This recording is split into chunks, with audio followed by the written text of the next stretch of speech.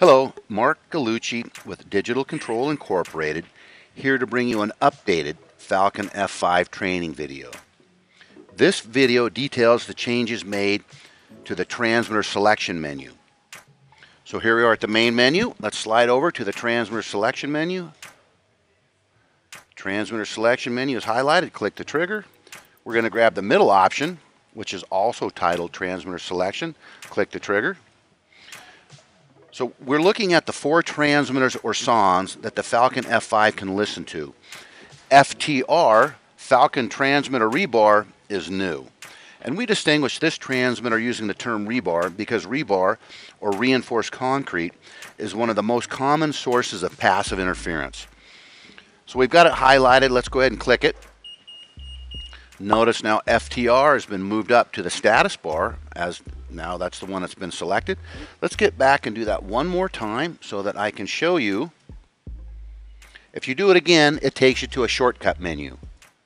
This shortcut menu is how you quickly toggle from the down mode to the up mode and also enable or disable the fluid pressure functionality. So I can get here, I can turn fluid pressure on or off, I can select the up mode or I can select the down mode. Let's sum it down, click it, which takes you to the locate screen. Red triangle with exclamation point lets you know that the handheld receiver has not yet been calibrated. So let's thumb it down. Let's get back to transmitter selection, click the trigger. Now we're going to grab the first option available, frequency optimization. Let's go ahead and click that trigger. Now the left side of the screen is a scale, a scale used to measure active interference. And we measure active interference in dB, decibels. The higher the fluctuating bar graph, the higher the background noise, or the higher the electrical interference. Immediately next to the scale, right here in this section, we see the two bands currently in use and the active interference levels that those bands are experiencing at this specific moment in time. Walking the drill path while observing the active interference levels of the currently paired bands lets you know if new frequency bands should be selected and paired or if the current bands are appropriate for the job at hand. Let's go ahead and run the frequency optimization.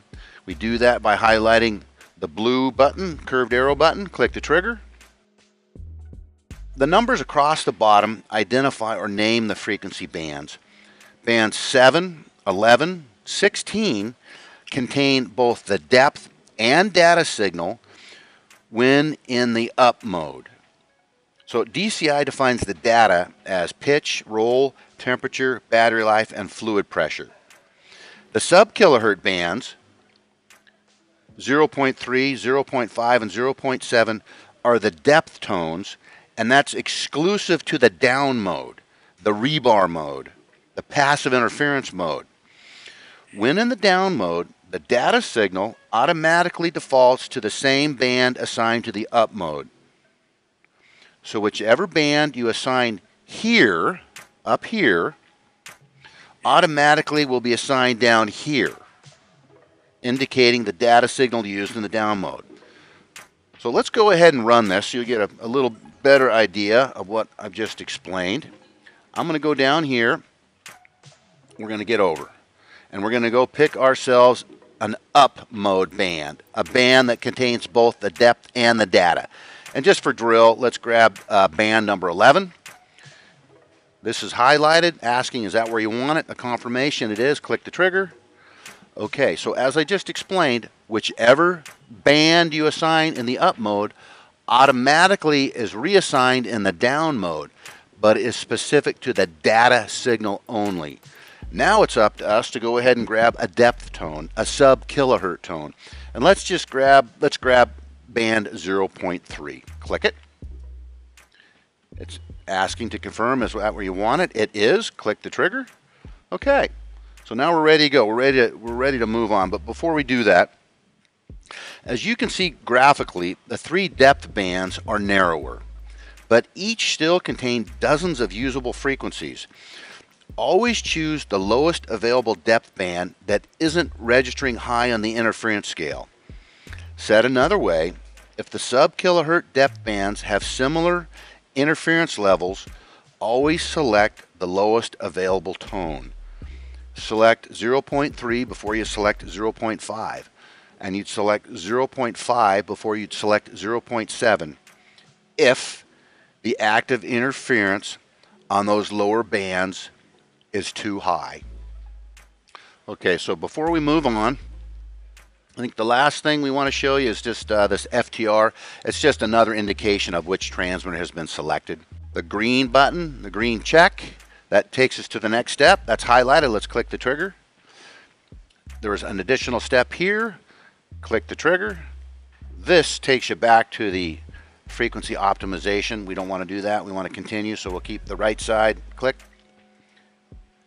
Okay, so icon that is lit up now. This would be standard pitch mode and standard fluid pressure mode.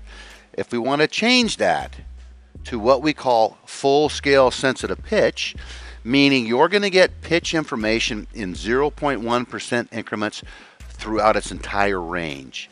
If this is what you're looking for, you need to click it here and then do the pairing. So in the interest of time, the interest in brevity, we're going to stop this video here, but I want you to look for the next video. It's entitled Full Scale Sensitive Pitch, and it takes off from where this one leaves, leaves off. Thank you.